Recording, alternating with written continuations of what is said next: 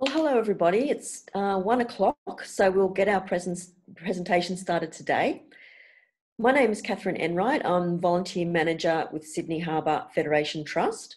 And firstly, I would like to acknowledge the traditional custodians and owners of the lands and waters on which we all stand today and pay my respects to elders past, present, and emerging. Welcome to our Trust Talk today, and this is via our digital platform DigiTalks. The Harbour Trust is offering a series of these, so please be sure to check out harbourtrust.gov.au for future presentations. And also, I'm happy to say we are recording this presentation and many of the others. So if you'd like to catch up later or spread the word, uh, please do so. But before introducing the presentation today, I'd just like to give a couple of tips on how best to enjoy this Zoom webinar. Our speak speaker Stirling will share his screen with you today and your microphones have been muted. And you should also be able to see a couple of video tiles there on your screen.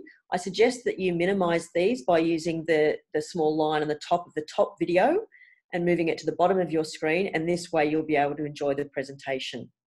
If you have any technical issues throughout, please use the chat option at the bottom of your screen and we will endeavour to help you. Now, Stirling will be happy to answer questions at the end of the presentation so if you do have a question, please use the Q&A option at the bottom of your screen. And we won't be able to get to all questions. Uh, so apologies in advance if we don't get to yours. Now to our Trust Talk presentation. Our presenter, Stirling Smith, is an archaeologist with extensive experience working throughout Australia and overseas. He specialises in maritime archaeology, military and polar heritage, but has also worked extensively in Aboriginal and historical archaeology. He currently works as the Senior Maritime Archaeology Officer with Heritage New South Wales, Department of Premier and Cabinet, and is the current President of the Australian Institute for Maritime Archaeology, AIMA. And today's presentation. For over 60 years, one of the great Australian wartime and maritime mysteries was the whereabouts of the third and last Japanese midget submarine which attacked Sydney Harbour on 31st of May 1942. It was not until November 2006 that a group of weekend divers called No Frills Divers located the M24 midget submarine off the Bungan Head, Newport, Sydney. The wreck was immediately identified to be of national heritage significance and was listed as a protected historic shipwreck and placed on the New South Wales State Heritage Register. The M24 is seen as a unique heritage site internationally, representing one of only a handful of such submarine wreck sites located worldwide and in its original battle context. Heritage New South Wales, along with the Commonwealth and Japanese governments, has developed award winning management strategies to protect and interpret the site. This presentation will look at the background of the M24, as well as management strategies and future management issues of this highly significant maritime archaeological site. And now I hand over to our speaker, Stirling. Thank you very much, Catherine, and uh, good afternoon, everyone. Um, today, I'd just like to give you a, a, short presentation on the M24. I'm going to start off by doing a little bit of a background history about the attacks on Sydney Harbour. I'll then look at the M24's discovery and then look a little bit at the management of the site and then talk about where we're going with the future directions of the management. The one thing I'd like to say is this is an extremely significant part of Australia's history. There's a huge amount of information um, about the raid and the management of the submarine. And obviously, I'm only going to be able to just go over a very um, summary uh, event, a summary of the events uh, in today's talk. But I will, at the end of the talk, um, give you some links where you can find further detailed information. So Japan entered World War II in December 1941 with the raid on Pearl Harbor. Now, this raid was obviously known as mainly uh, undertaken by aircraft from uh, carrier-borne um, attacks, but what was interesting about it is the Imperial Japanese Navy had also um, put five midget submarines into the attack as well. The idea was that the midget submarines would be able to work their way through the harbour defences, get into the harbour and sink uh, shipping. Unfortunately for the Japanese, the uh, submarines were all lost or destroyed, and most of them were caught in anti-submarine nets or um, depth charge by, by vessels. So from the perspective of the midget submarine raid, it wasn't particularly successful. However, the Japanese believed that they would still be able to use the uh, midget submarines to great success. In um, 1942, they decided to have two more um, raids, simultaneous raids by the submarine midget attack groups. So on the 29th of May 1942, three midget submarines attacked the um, Allied base at uh, Diego Suarez in Madagascar. Now, one of the submarines was able to get through and fire its two torpedoes. One of the torpedoes damaged the HMS Ramillies, and the um, other one actually sank the British Loyalty, which was a, a British tanker at the time. Simultaneously, the second attack group was actually sent off Australia, and on the 29th of May 1942, five I-class uh, um, uh, submarines uh, stationed themselves about nine more nautical miles off Sydney. Now, the I-class submarines were extremely large. They were around about 400 feet long. They had a crew of 144 uh, men and officers on board, and they were long-distance submarines that could carry large loads. Three of the submarines actually had uh, midget submarines attached to their outer casings or the hull casings, and you can see the image on the top right-hand corner here of one of the midget subs. And two of the um, air, um, submarines were actually fitted with waterproof aircraft hangars, and they both had uh, float planes in them. Now, the midget submarines that were used on the raid on Sydney Harbour were the Type A Kaihayatiki class midget submarines, and this was what was also known as the improved version 1 the Imperial Japanese Navy had learned some of the lessons from their attack on Pearl Harbor, mainly to do with anti-submarine net defenses. So the version one, you can see a larger cage over the torpedo tubes and another series of net cutters at the top of the conning tower. Now, the submarine's main armament was two Type 97 torpedoes. It had a crew of two. It was about 78 and a half feet long and only about five and a half feet wide. So a very, very small submarine. Uh, very cramped quarters for the two crew, all elect electrically driven by batteries. And these submarines were designed to be launched from motherships like the I-class submarine. They were meant to undertake their attack and then they were designed to return, to be reused, to be recharged and sent out again. So on the 29th of May 1942, um, a 14 wide globe, uh, Glen float plane was launched from um, off Sydney. Now, the idea of this was a final reconnaissance mission. They wanted to actually check what shipping was available for potentially attacking in Sydney Harbour. The, Glen took off just before dawn. It actually came all almost over the top of Macquarie Lighthouse, went down into the lower part of the harbour, then went back up the harbour looped down and went all the way down to Cockatoo Island, where it circled around and then started working its way back up the harbour and then back out to sea again. Now, this aircraft was actually spotted by a number of people, and it was actually reported as potentially being an, a, an enemy aircraft. But the uh, command at the time actually thought it was one of the seaplanes from um, the, U, the USS, um, sorry, one of the uh, USS um, airplanes and uh, mistook, mistook it for that and actually didn't think it was a Japanese aircraft at all. So the alarm wasn't raised.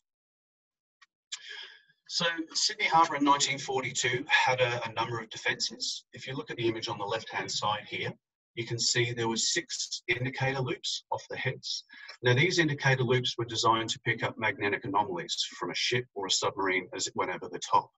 At the time of the raids, two of them were not operational Two of them were giving very bad feeds, and then the other two, they weren't sure if they were accurate or not, so they actually turned them off for a period of time. So the outer loops weren't very operational. Now, the inner indicator loops, which is loops 11 and 12, which you can see here, were operational at the time. The other main defence of the harbour was the boom net, which is down here between, uh, you can see down here by Chowder Bay. The only problem was at this time, um, at this period of time, the boom net wasn't actually completed, so the ends hadn't been finished. So around about 8 p.m. on the 31st of May, the M27 was the first midget submarine to enter Sydney Harbour. Now it started working its way up along the Western Channel and got its way all the way up to the, the, uh, the boom defence gates. Unfortunately for the submarine, it actually ran into one of the channel markers, then reversed itself out and its propellers got entangled in the boom defence nets. Now, as it did this, the submarine actually came to the surface and it was spotted by a maritime services watchman. Now, this watchman decided he better go and have a look and see what this was. So he got in his rowboat, went out, and fair enough, he saw a submarine, came back and immediately reported it. Now, the Naval Command at the time was very skeptical this was actually a, an enemy submarine. So they actually sent out a couple of patrol boats to have a look at it. One of the patrol boats, HMAS Lolita, actually reported back it was actually a baby submarine and that they were going to attack it with depth charges. The Lolita actually dropped two depth charges, but because the water was so shallow, the hydrostatic fuses didn't go off and the, the, uh, the depth charges didn't detonate. By this time, it, it was realised that these were actually submarines and more patrol boats were sent out to investigate.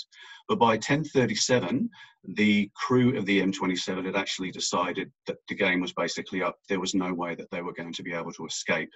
And what they did is they actually set off their demolition charges. Now, each of the submarines had a, a, scuttling charge inside it. The idea being if the submarine was going to be captured, you could destroy it so as the enemy couldn't get hold of it the crew of the M20 decide, uh, M27 decided that they would detonate their, their charges and actually kill themselves in the process. At 9.48, the M24 British submarine enters Sydney Harbour. Now, the M24 was able to work its way up past the boom defence and started heading up towards um, Garden Island. Now, the main target for the submarines was the uh, heavy cruiser, the USS Chicago, and also um, the HMAS Canberra, which was the Australian vessel up there at the time. Now, the M24 was spotted as it went past Chicago. And in fact, the Chicago's guns were brought to bear and they opened fire on the submarine. The problem that they had is the submarine was very low in the water and they couldn't depress their guns far enough to, to fire at it effectively. They did fire their five, five inch guns a few times. And in fact, one of the rounds actually hit the Martello Tower on Fort Denison. The M24 then disappeared from view and basically it worked its way around to the stern of the Chicago where it could get a good, uh, a good aim and fire its torpedoes, which is exactly what it did. The first torpedo was fired and it actually went down the port side of Chicago, narrowly, narrowly missing, missing it, um, and then ending up hitting the seawall on Garden Island. It unfortunately exploded underneath the HMS Kuttabul, which was a uh, ex-ferry that was being used as an accommodation block at the time and exploded and uh, destroyed the Kuttabul almost instantly. The second torpedo was fired, went down the starboard side of the Chicago, also missing it, but it went up onto the seawall at Garden Island and didn't explode. And if you look at the screen in front of you, you can see the top image is the torpedo that didn't explode. But the bottom one is actually the torpedo that blew up HMAS Kuttabul, and that's currently on display at the Royal Australian Navy um, Heritage Centre at Garden Island. And if you haven't been down there, I'd recommend going down and having a look at it. So HMS Kuttabul was destroyed by uh, the M24's torpedo. Um, as I said, it caused a huge amount of damage. It killed uh, 21 Allied uh, naval personnel, 19 of them were Australian and two British personnel. It also heavily damaged the K9 submarine, which was a Dutch submarine that was moored alongside the wharf. Now, the K9 wasn't destroyed, but it was so severely damaged it put it out of service for a number of years. And the K9 eventually was decommissioned from the Dutch Navy and brought into the Australian Navy. It didn't have a very successful career, unfortunately. By the end of the war, it was scrapped. Um, it was actually towed up the, the coast of New South Wales and lost in 1944 in a storm and run ashore. And the remains of the K9 submarine is still buried in the sand at uh, Seal Rocks today, and it sometimes gets, gets exposed as well. So at 3.01 a.m. on the 1st of June, the M22, the final and third submarine, enters Sydney Harbour. By this stage, the harbour is on high alert.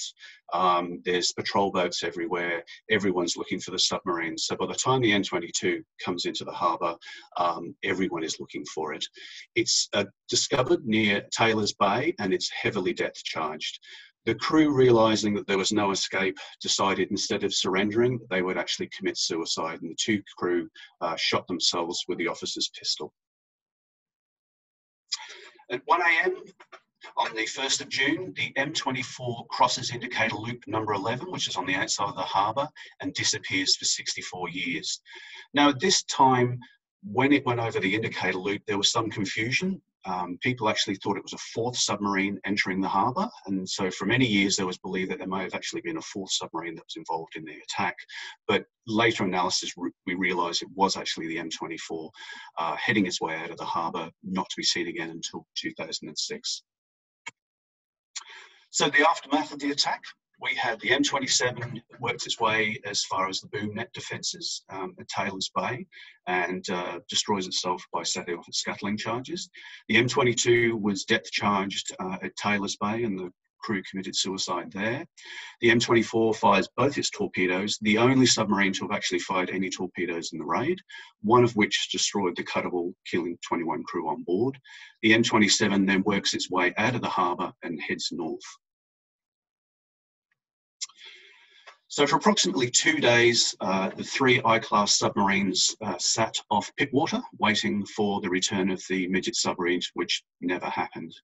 Um, by the 8th of June, they'd moved on to what their secondary missions were, which is basically disrupting Allied shipping up and down the east coast of Australia. On the 8th of June, the I 24 surfaced off of Sydney, um, and the crew was uh, ordered to actually bring their deck gun to bear. Apparently, they were aiming for um, the Sydney Harbour Bridge at the time, but they fired 10 shells into Sydney and only one of them detonated. Now, when the M20 uh, the I-24 uh, started its raid, the Air Force scrambled a couple of aircraft. Um, one of which was First Lieutenant George Leo Cantello. He was with the U.S. Air Force. Um, he immediately took off in an Airacobra, but unfortunately, his aircraft had a catastrophic engine failure, and the aircraft crashed almost immediately.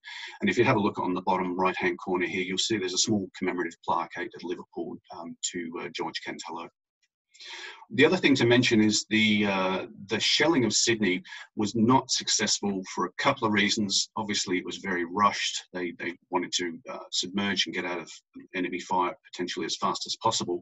But the main reason was the shells that they were using were armored piercing rounds. These were these were designed to shoot at very heavily armored ships. Now, when they were fired at Sydney, they were you know, hitting things like concrete walls and things like that, the shells basically just went straight through them and didn't even detonate, so caused very little damage. And there was only a couple of minor injuries as well probably the, one of the greatest uh, examples of the, the, damage that was done was the corner store on Small and Fletcher Street in Woollahra. And if you have a look at the images on the screen, you can see on the right hand side some of the damage that was done to the, the store. And on the left hand side, you can see that that building still remains there today. And actually, there's an interpretive plaque uh, on the ground there to show the impact point of where the shell hit. Also on the 8th of June, the I-21 um, uh, shelled Newcastle. Again, it uh, came up and they used their deck gun. Apparently, the, the target at that time was the BHP Steelworks. Again, very little damage. Uh, one, of the, one of the shells landed in the water. Most of them didn't cause any great damage at all predominantly because they were the armored piercing rounds and not designed to, to do a great deal of damage. Um, but the interesting thing is, uh, when it opened fire, Fort Scratchley at Newcastle actually um, became the only Australian coastal fortification to fire on an enemy ship in World War II.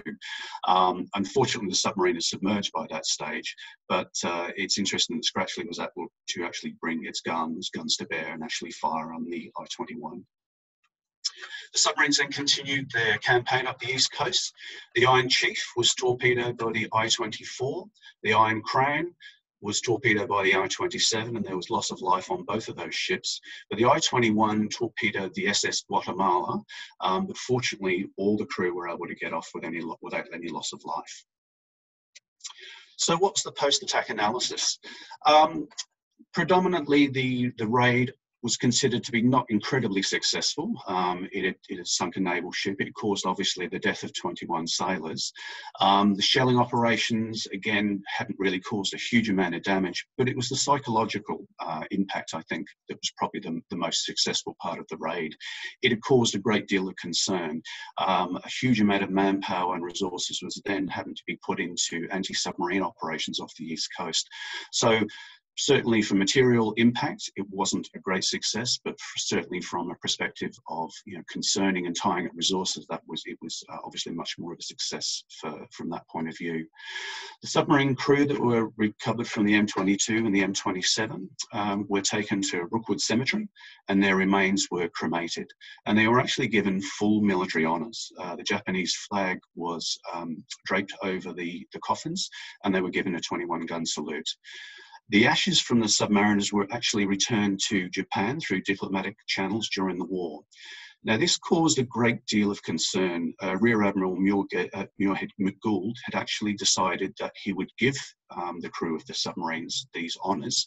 One, for their bravery, they were obviously very brave in their attack, but two, it was also felt that if we showed the Japanese um, that we treated their, their dead with respect, that the Japanese may treat Australian prisoners of war in Singapore with a similar sort of respect.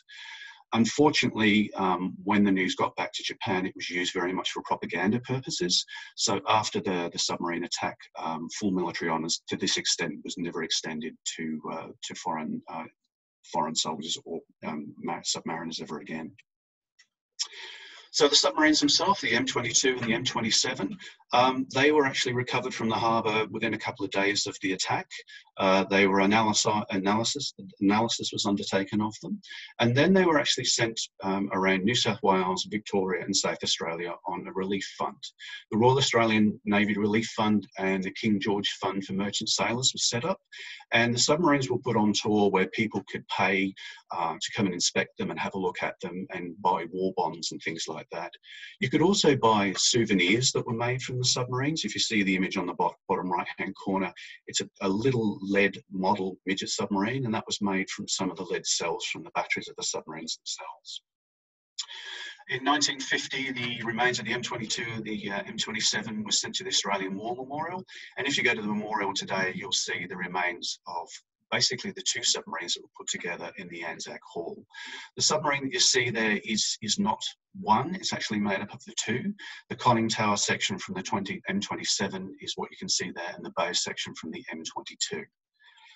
Now, the actual conning tower section of the M22 is on display in Sydney at the Royal Australian Naval Heritage Centre in Garden Island. And if you haven't been there, I'd highly recommend going having a look. They have a great collection, and a lot of it's dedicated to the attacks uh, in 1942. But the other thing I'd recommend is actually go and have a look at the conning tower section of the midget sub.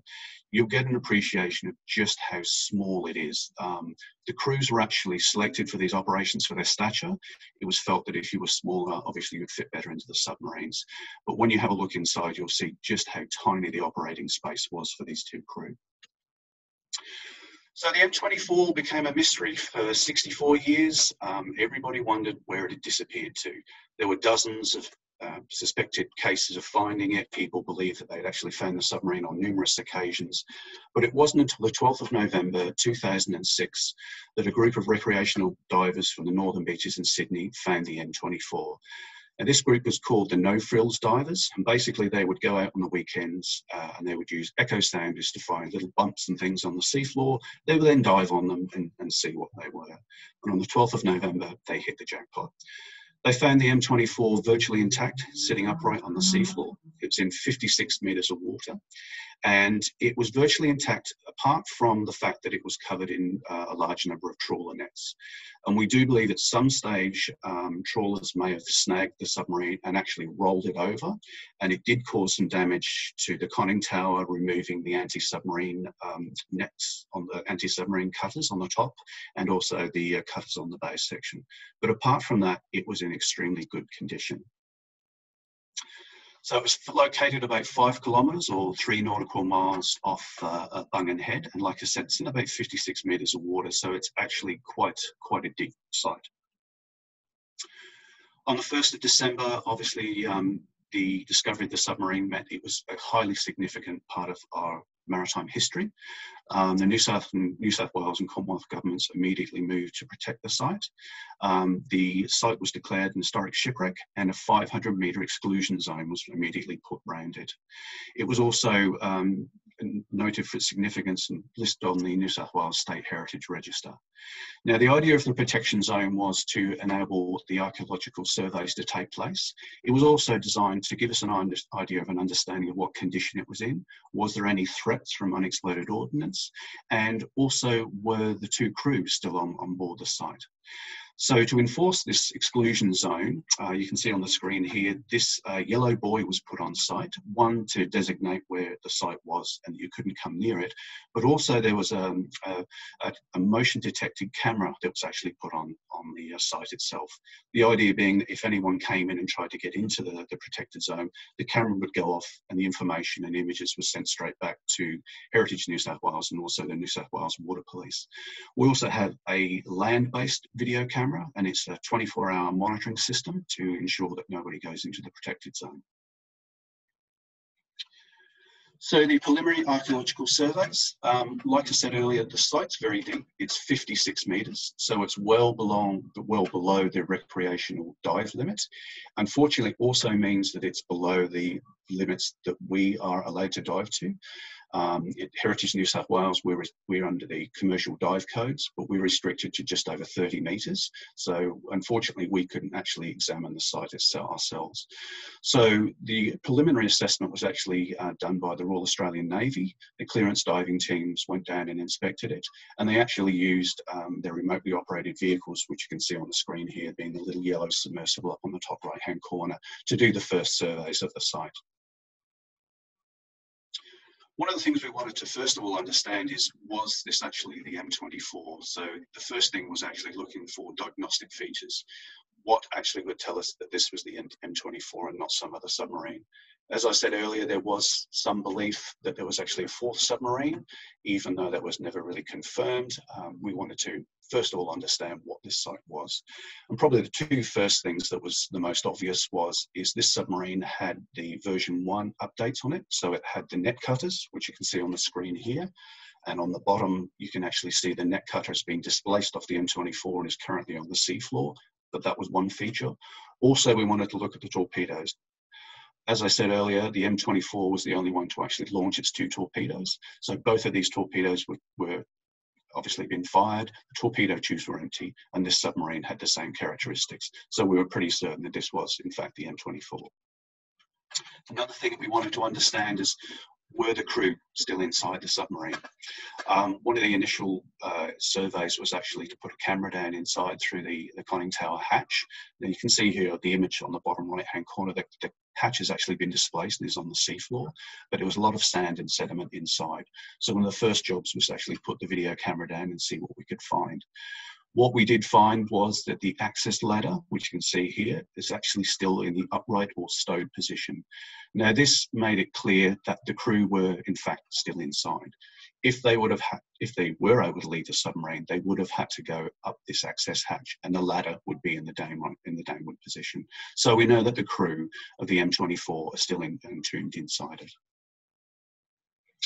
The other thing we wanted to know was was what was the site conditions like once we realised that the crew was still inside, we obviously wanted to make sure that they, you know, their remains weren't visible or under, under any threat. So video camera inspections were undertaken on the inside. What they revealed was that the submarine is essentially filled up with silt and sand. So the remains of the crew are essentially entombed inside. We also wanted to know uh, was there any unexploded ordnance still on the site and what the general condition of the hull and um, the actual fabric of the submarine was was like what its condition was uh, was actively corroding or, or was it you know fairly stable?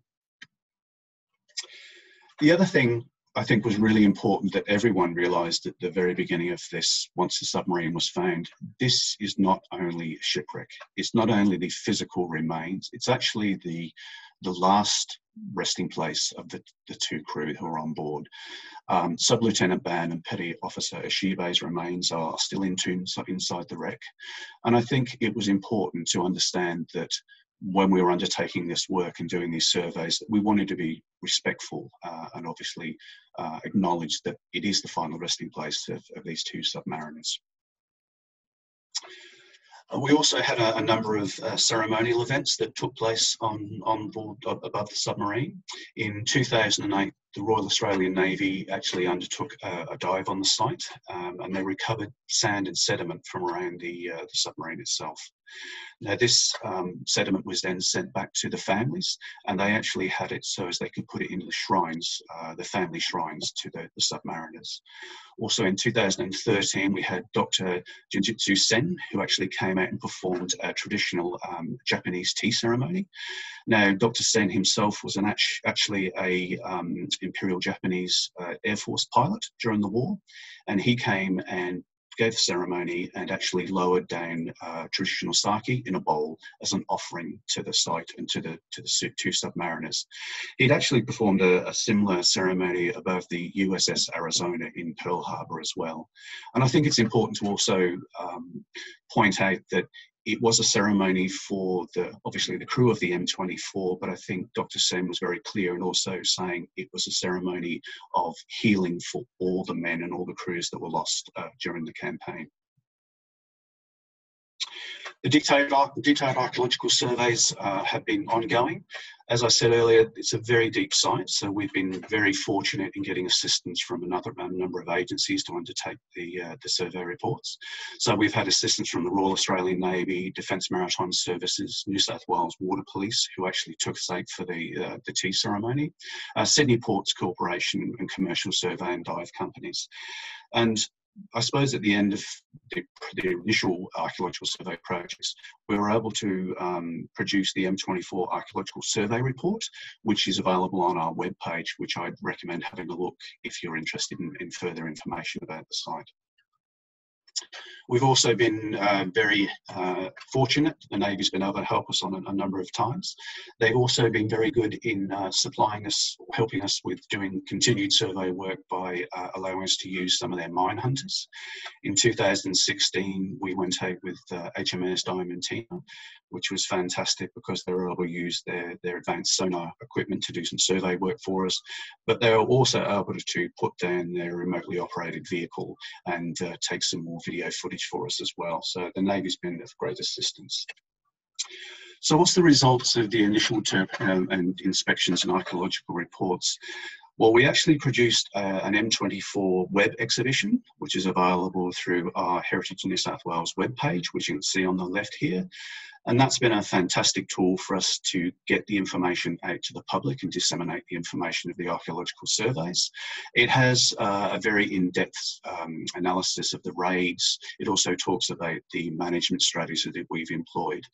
The other thing is that um, Heritage New South Wales and also the um, uh, also the Commonwealth governments were rewarded, I suppose, for the work that we've been doing on the M24 by a UNESCO award.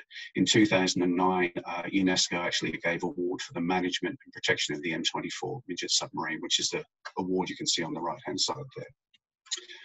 There's also a number of interpretive plaques that are being put up. Um, there's uh, one down at uh, Middlehead that talks about the boom defences and the Japanese raid on, on Sydney Harbour. But there's also a very large plaque that we um, put in place with the Navy and the Council at Mona Vale. And this is the closest spot to the last resting place of the M24. Um, it was a very moving event. Uh, we had lots of representatives from the Navy and families. But it was also uh, lovely that we were able to have a Catalina flying boat uh, do a ceremonial flight past uh, when the uh, was unveiled as well chance to, to go up to Mona Vale and have a look at the plaque, and you'll be able to look straight out and see where the uh, M24's final resting place is. Another important um, part of our uh, research and archaeological work has been understanding the unexploded ordnance or potential for unexploded ordnance on the M24. Like I mentioned, the uh, midget subs all carried a scuttling charge. Um, now, for whatever reason, the M24 crew did not um, set their scuttling charge off. And we believe the reason for that was when they were heading north, it was the early hours of the morning. It was actually probably daylight by the time they got to uh, off Bungan Head. The submarine's batteries were probably just about exhausted. Um, the crew was also probably running out of air. And they decided, for whatever reason, um, that they put the submarine onto the seafloor. Now, many people have asked why didn't they blow blow it up like the uh, crew of the M22 had. It's probably something to do with the fact that it was daylight at that stage. They were trying to get their way back to the uh, the I-class mother submarines. Had set those scuttling charges off, they would have alerted the Allies to their position and to uh, looking for the, the, mother submarines as well. So that's probably the reason why they decided not to set off those scuttle charges. But from an archaeological point of view, it, makes it interesting for us um, because we have to understand if those um, scuttling charges were still on board. So the unexploded ordnance survey, which was um, undertaken by Dr. Brad Duncan and Smith from our office, identified the scuttling charges are still on the M24. But after this period of time, it's most likely that um, saltwater ingresses got into them and made them uh, uh, not live. But we can never you know, definitively say that there's, uh, you know, no chance of unexploded ordnance on the site. And this is managing the site like this, and particularly when it comes to visitation of the site. Obviously, from a heritage perspective, we want the submarine to be left uh, alone. We want the people to look at it but don't touch understand that there is potential for unexploded ordnance on site. So anyone visiting it um, obviously needs to be aware that there's the potential for unexploded ordnance on here. Now we also have a, an inspection uh, regime that's going, uh, continues to go to this day. Um, every year we have a, a, video and dive inspection done on the submarine. The idea is we want to record uh, how the submarine holds up over time. Is it deteriorating? Is it changing? We do a full video inspection and a diver inspection of the sub every 12 months. As part of that uh, inspection, we also do uh, what's known as a um, cathodic protection program. So on the top right hand corner here, you can see um, the submarine actually has an anode on it, basically a big, large um, block of zinc, and it's connected to the submarine. Now, the idea is that the zinc uh, actually corrodes in preference to the, so the, the anode will actually corrode we're trying to ensure that the uh, steel stays in as good a condition as possible for a longest, the longest period as possible. So Anodes have to be replaced every month as well. And on the bottom left-hand corner here, you can see that there's um, a, a, corrosion potential survey being undertaken. So we monitor how the site is uh, weather, uh, and that's also part of our ongoing inspection program as well. Um, now, since the submarine was first found in 2006, there's actually been a, a moratorium on diving.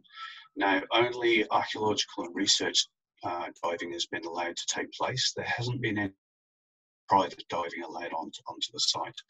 To get into that protection, you actually have to have a permit uh, from, from Heritage New South Wales, and that's been archaeological surveys. In 2017, we were approached by explorers um, of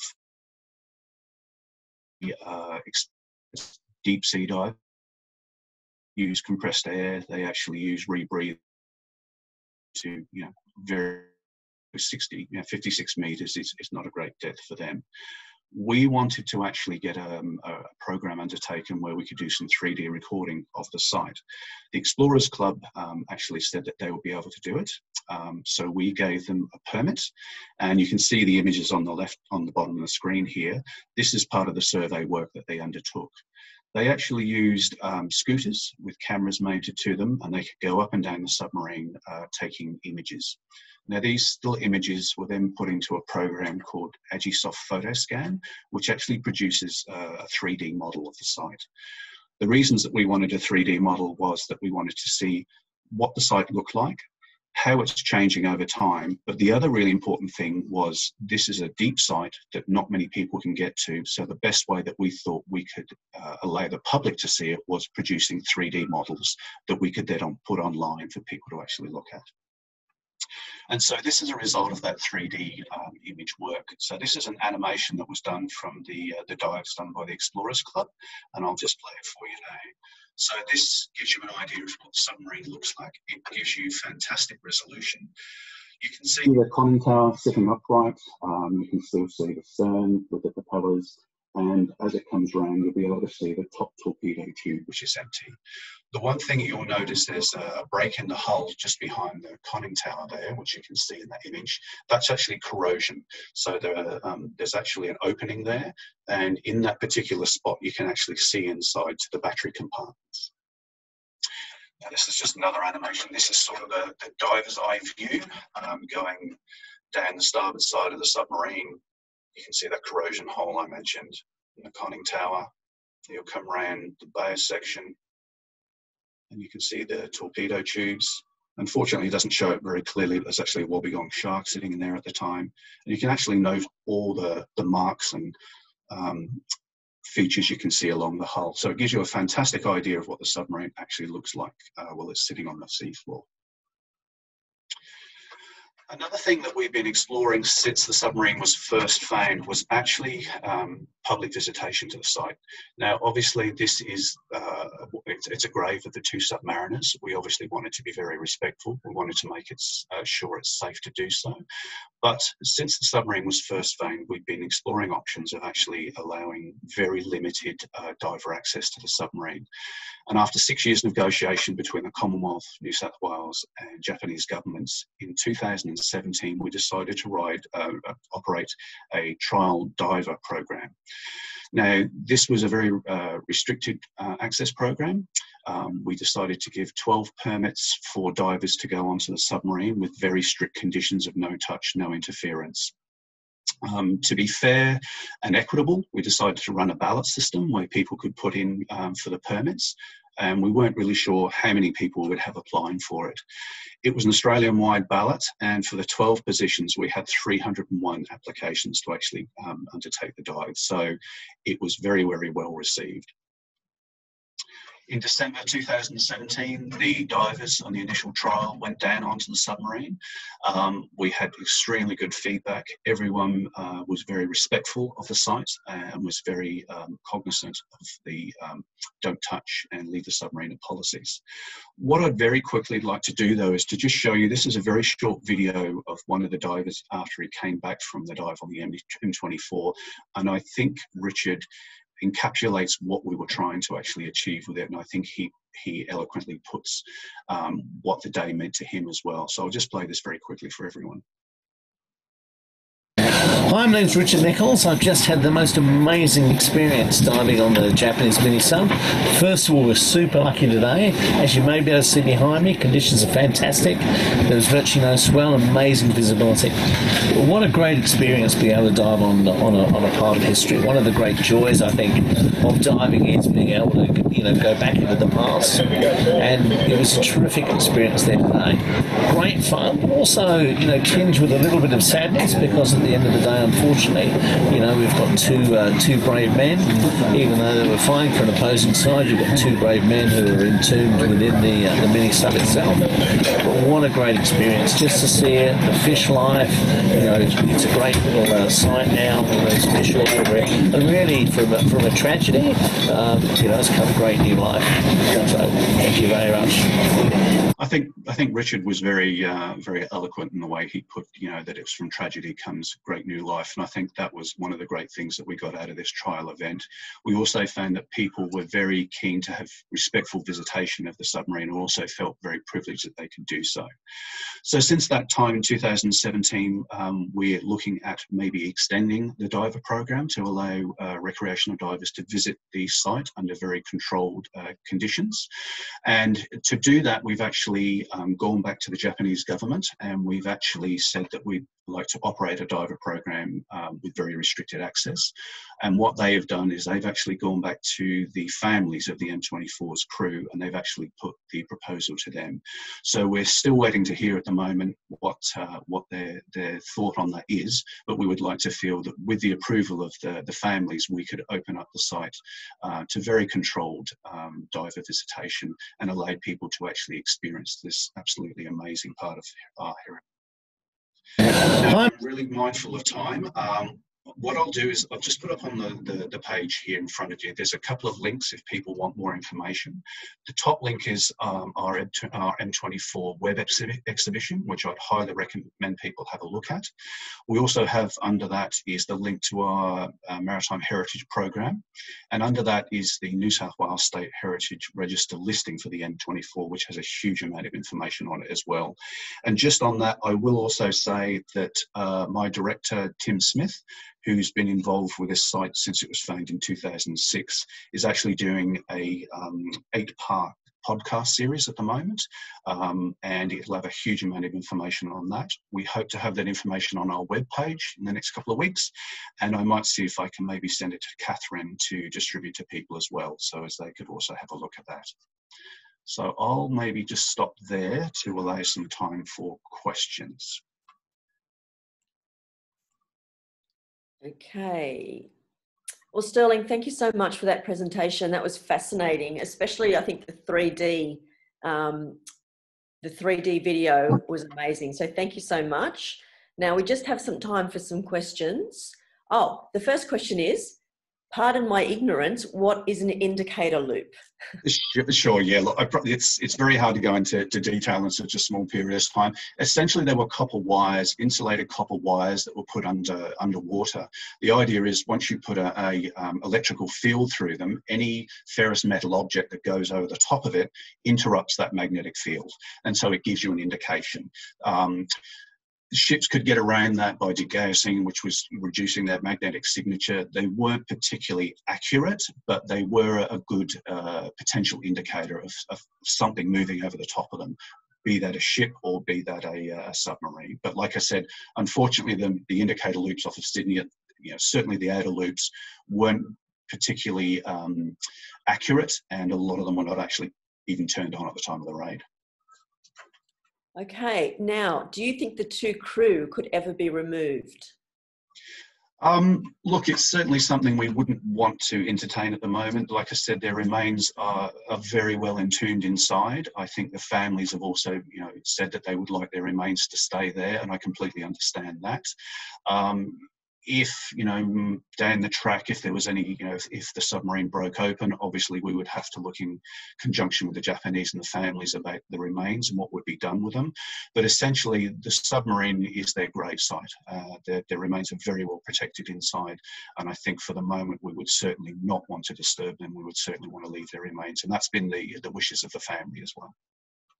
Okay. Uh, Stirling how did they recharge their batteries um, they, they can be done in two different ways. They, were actually meant to go back to the mother submarines. So um, some people uh, sort of called them, you know, suicide vessels. They, they certainly weren't. These were designed to be reused.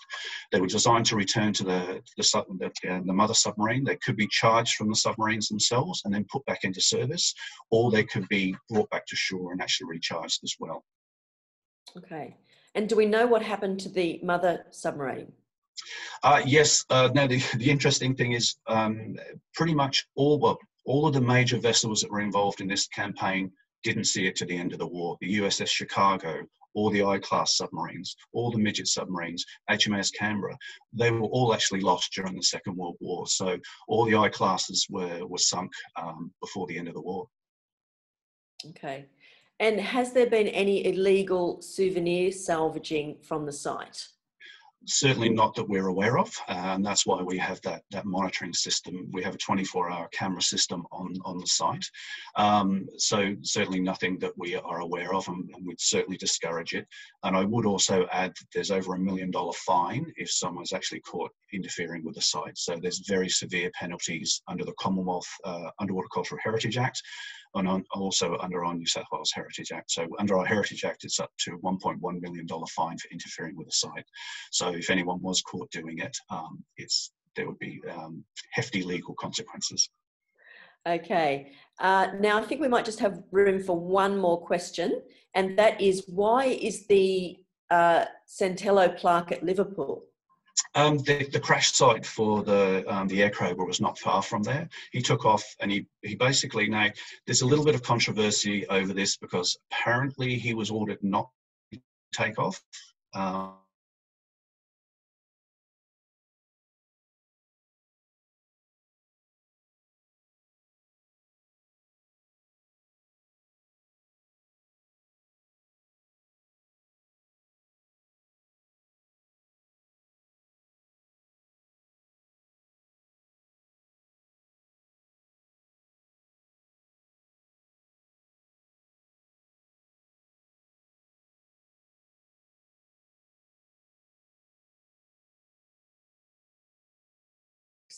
a few Wednesdays up until the end of